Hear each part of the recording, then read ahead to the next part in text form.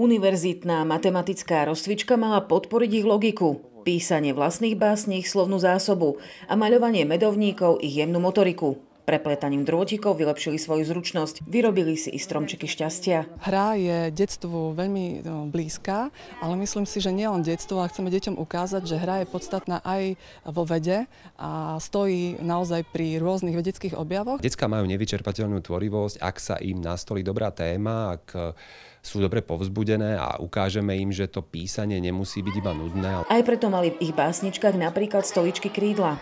No aj keď vonku bolo takmer 30 stupňov a ideálne počasie na kúpanie, nechceli odísť a s radosťou dostávali prvé lekcie herectva. Viaceré deti prichádzajú na letnú univerzitu opakovane. Tvrdia, že je to nová skúsenosť. Netlačia to až tak na nás, akože nerobíme tu diktáty a nič také.